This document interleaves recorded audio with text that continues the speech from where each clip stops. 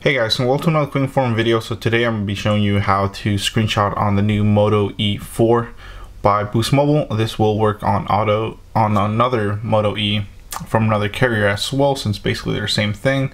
But today we're just testing it on Boost Mobile since that's what it's my channel's dedicated to.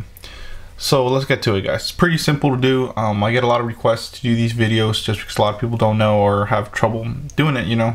So let's just say I want to screenshot something in my text. So let's just pretend I have some text messages on this phone, right? Um, so let's say, you know, a friend sent me something and I want to save the whole conversation for, I don't know, some, some purpose, right? and, um, or, you know, you have a crazy ex and she sends you crazy text and you want to take her to court or something like that, then boom, screenshot, take it to court. So basically to do it, on the right side of the phone you'll see that there's a power button and then volume rocker button. All you have to do to screenshot is hold down the volume the volume down button and the power button at the same time. So you'll see it. Hold it down. One two three.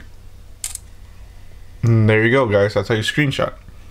So as you saw I took a screenshot of my text. Now let's say I want to do something about like my calls. Same thing. Hold down volume down and power button and there you go. And all your pictures get saved onto your uh, gallery. So if you go to it'll say photos. You want to go to albums. It'll say screenshots. And there we go. I have the calls and then the text messages as well. So that's how easy it is guys to screenshot. Um, it's a quick video but really really informative to you guys. Please come and rate subscribe. I actually now have uh, shirts on sale um, with my official brand logo on there. So check it out. It's be description below and a lot of cool new offers and all that stuff. So please comment, rate, subscribe, and yeah.